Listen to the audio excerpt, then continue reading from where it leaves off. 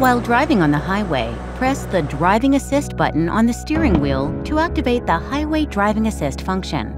This function detects lane markings and the vehicle ahead to keep the set speed and help maintain a safe distance, all while keeping the vehicle centered in its lane. You can activate the Highway Driving Assist and Vehicle Settings, Driver Assistance, Driving Convenience. Related options can be toggled on or off in the same menu.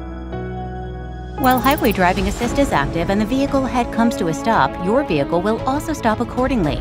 If the vehicle ahead starts moving again within 30 seconds, your vehicle will automatically start moving again.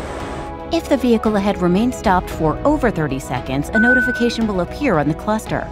Press the accelerator pedal, the plus or minus switch on the steering wheel, or the pause resume button to start moving. The Highway Lane Change Assist checks whether a lane change is possible when you turn on the turn signal, helping you change lanes safely.